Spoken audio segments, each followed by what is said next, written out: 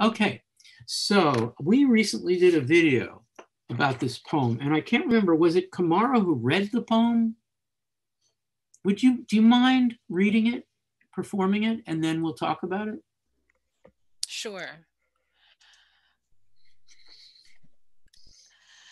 I saw Emmett Till this week at the grocery store, looking over the plums one by one, lifting each to his eyes and turning it slowly, a little earth, checking the smooth skin for pockmarks and rot or signs of unkind days or people, then sliding them gently into the plastic, whistling softly, reaching with a slim woolen arm into the cart.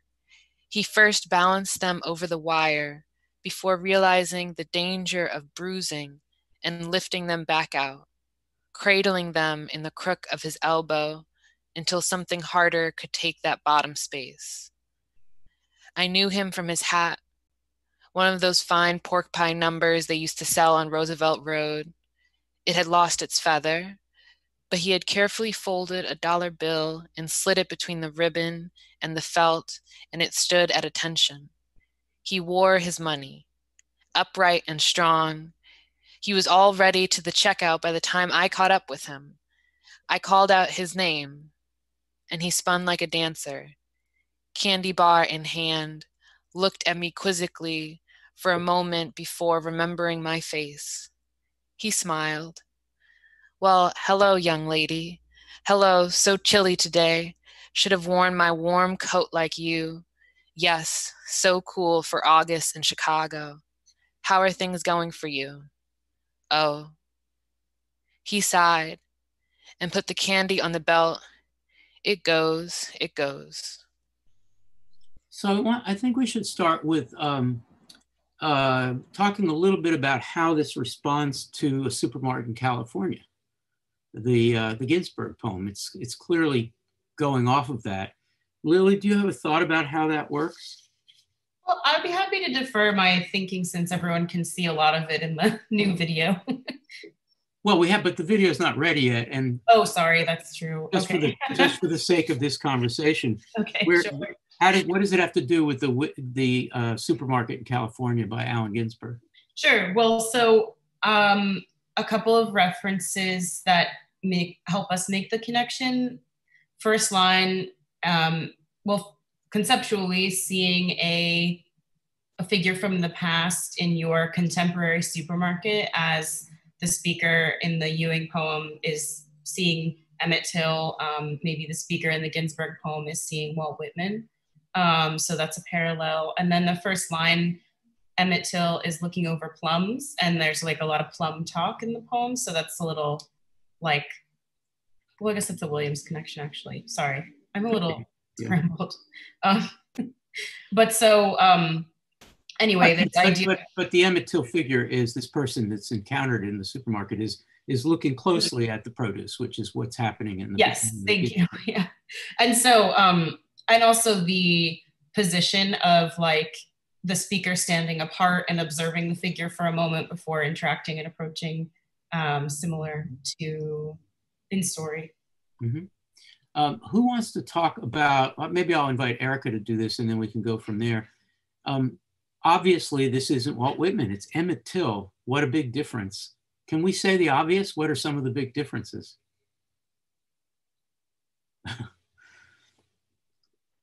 Um, you know, well, this, I, you know, this is a poem that's imagining and otherwise. So, you know, Emmett Till was murdered, um, which is, you know, his, I'm not sure how to phrase this, but I, you know, I think that it's really important what Eve Ewing is doing by choosing to focus the poem on Emmett Till, it changes the entire scope of reference for what the poem is doing and how the poem is working because it's an imagined situation where Emmett Till is able to exist in a way that he can't. Yeah.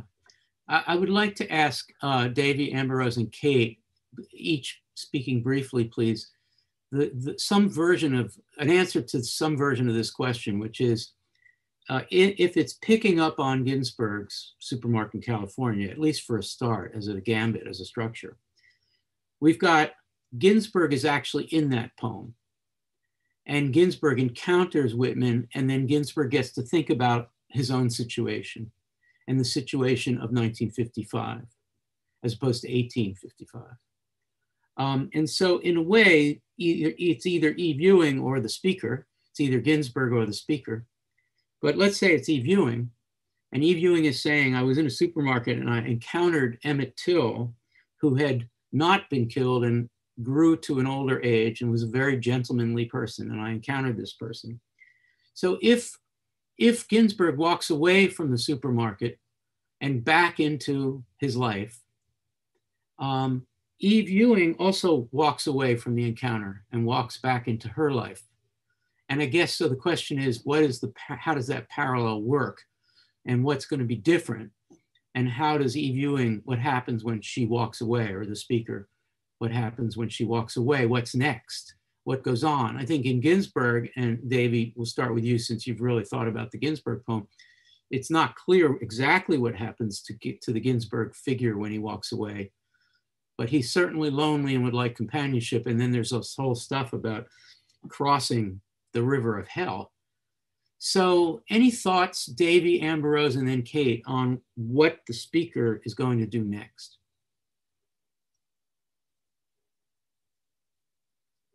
Davy? I don't quite know that I can answer the question what the speaker is going to do next. Um, but um, something that I can speak to is a, a, major difference in these poems for me, and this is something that um, I meant I say as much in the video, is that um, the Ginsberg is imagining a um, non-realistic, um, like the moment of seeing Whitman in the grocery store is a moment that could not have been in Walt Whitman's life. It was Whitman would have been in, you know, well over a hundred. And like the big difference for me in this poem is that um, seen in the grocery store like this year, Emmett Till would have been in his late 70s and that is the big difference in this poem is that one is imagining the um, continuation of a quotidian life were Emmett Till not um, murdered by an act of racial violence in a way that um, a supermarket in California is imagining a hypothetical that is not about uh, if Walt Whitman had been given his full life, which he was, uh, but is imagining Ginsberg needing something. And this is not a poem that is about, this is a poem that is imagining kinship for totally different reasons. Mm. That's really that's really good. And and Dave Poplar points out that the poem was the Ginsberg poem was written in the year that Emmett Till was murdered, um, and so there's clearly some kind of connection there. Amber Rose Johnson, your thought about this? Yeah, I I really love Davy's comments, and I'm thinking about another major difference between the poems um, and this is also kind of building on something that Gabe said in the chat, which is about desire and recognition. But at the end, Ginsberg is asking, is appealing to Whitman, is asking a bunch of questions, is looking for guidance. And there's something very different that happens in Eve Ewing's poem, which is that she calls to Emmett Till by name and he responds um, not just to her as a stranger, but she start, but there's a moment of him being startled and then there's a moment of recognition. And what they talk about is something very mundane um, which is different than sort of looking for guidance or looking for direction. It seems like the speaker in the Ginsberg poem um, is, yeah, is looking for guidance in a way that the speaker in Eve Ewing's poem is looking for just recognition and recognition. Um, I, I guess so. There's a commentary about what it would mean to have um, Black elders that are able to recognize you, which is a question of what it would mean for Black life to not be under um, warfare. and to and to have an elder who's thinking about, you know, being warm against the cold, essentially, you know, the the sweet, generous patriarchy. Um, of that community. Sweet, generous patriarchy. Well, that is that is an oxymoron, but a sweeter version of what might be. You know, Emmett Till right. in his late 70s worrying about how cold it's going to be in Chicago the Emmett Till who made it back home to Chicago to be able to endure the cold winters. Um, Kate, what's your thought about this? Um, I've been thinking a lot about why she's referring back to the two earlier poems and how Ginsberg borrows um, and well works in Whitman's sort of long-lined, ecstatic, inclusive mode um, in his own sort of bebop way. Um, and the Ewing poem, she, I mean, the, the point of referring back to those poems might be the contrast in, in form here. Her lines are shorter. It, the, the mode is not ecstatic. It's very kind of quiet and um, not plotting, but sort of carefully moving forward.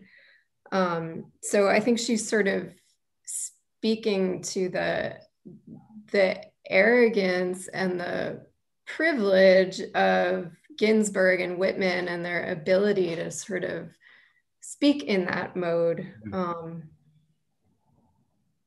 so it's a critique of the Ginsberg.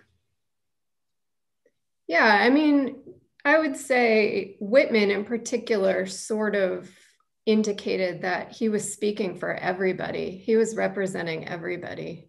Mm. Um, and Ginsberg picked that up. And, you know, in poems like Howl, like Howl in particular, he tries to sort of kind of refer to everybody and, you know, embrace them all, um, include them all. And here we have one man um, from, you know, a historically excluded group. So I think the contrast in modes here is really the crux of the poem in a lot of ways. Yeah. I, I want to turn really briefly to Gabe and Amber-Rose to add one more thing to this. Um, uh, Gabe, um, the in Money, Mississippi, the encounter that led to the racist murder uh, was in a, a, a, little store, five and dime, really. Um, and the and the Emmett Till who was in that store, by all counts, was pretty much as kind and polite as the Emmett Till who lives to be in his late 70s in a Chicago store. Um, and so there's that contrast is in there. Uh, anybody who knows the Emmett Till story is reading this poem understands that this is the same Emmett Till. Um, but anyway, you you you wanted to say something about the the importance of setting of using the Ginsberg with the setting of the market. Yeah. Well, what I wanted to say really was like one of the most important contrasts here is that for Ginsberg, I mean, Ginsberg's imagining like a kind of kin relationship with Whitman, with Lorca, with others through through sex. Like that was his his theory was that he could connect to whitman because he slept with somebody who slept with somebody who slept with somebody who's all the way to Whitman.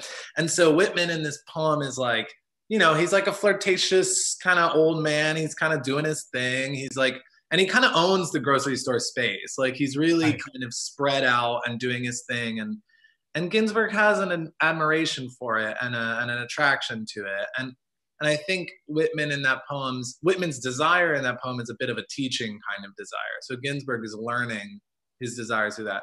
The, the situation is very different in the Ewing, and I'm kind of curious about what how Ewing like well Ewing speaker and Till as a character in that poem, how their desires sort of intersect. Um, I think like uh, Davy used the phrase "the desire to be neighbors." That's like part of it. I mean, I think what Till's character says at the end of that poem is very much the kind of thing that maybe he said um, that incited an attack on him. So so Till was murdered for a supposed and and later the woman confessed that it was not true, but um, a supposed speech act towards a white woman in her family grocery store, um, and, and, was killed for that kind of cross-racial speaking, um, which was understood as flirting.